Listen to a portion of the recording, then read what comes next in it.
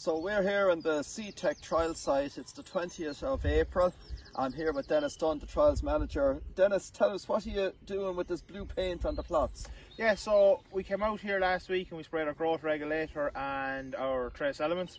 So when I was spraying it, I sprayed blue on the plot to show our timings that when we're going through the season now and spraying for a potential open day, that we can see our spray timings. Very good. It's very visual. It's like the Smurfs blue.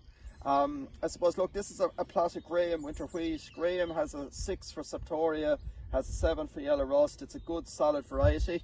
I suppose the important thing about it is for winter wheat in Ireland is to get your timing of the T1 right.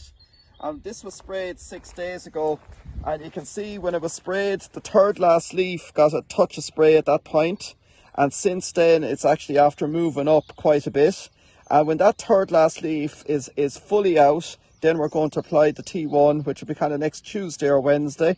And that will be our typical timing for our T1. So what we're doing is we're using the plant's genetics to get us until then.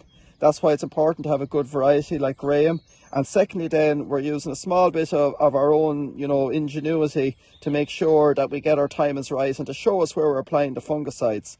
I suppose the last thing to remember, that leaf there, the third last leaf, is about 10% of yield.